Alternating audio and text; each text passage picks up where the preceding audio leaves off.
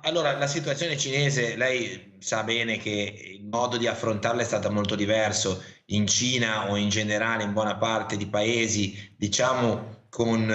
eh, minore accesso alla libertà rispetto a quello che hanno avuto i paesi occidentali. Quindi io credo che sia difficile paragonare quello che sta avvenendo in Cina rispetto al resto del, del mondo. Da noi il virus ha circolato molto di più perché siamo stati indubbiamente meno bravi a contenerlo eh, abbiamo raccontato con Mirta la storia di qualcuno che con un tampone positivo è rimasto chiuso in un albergo eh, per 30 giorni in Cina senza che, gli, nessuno, che potesse vedere nessuno portandogli il cibo da sotto la finestra. Credo che questo da noi eh, nel mondo occidentale non, per fortuna non è avvenuto, ecco questo possiamo dirlo. Per quanto riguarda i vaccini, io credo che bisogna fare uno sforzo come Europa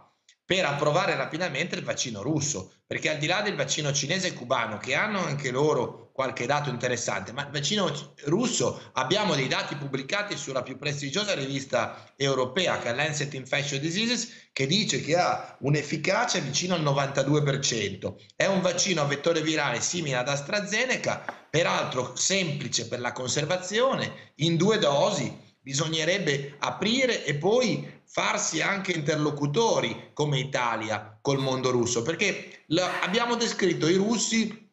un po' come, eh, un, come, come una sanità eh, e una tecnologia che non funziona. Abbiamo sbagliato, perché i russi sono primo degli ottimi medici, secondo degli ottimi scienziati, terzo hanno una tecnologia importante, per cui chi li ha dipinti come tali ha fatto un gravissimo errore. Allora, Uno dei tanti. È arrivato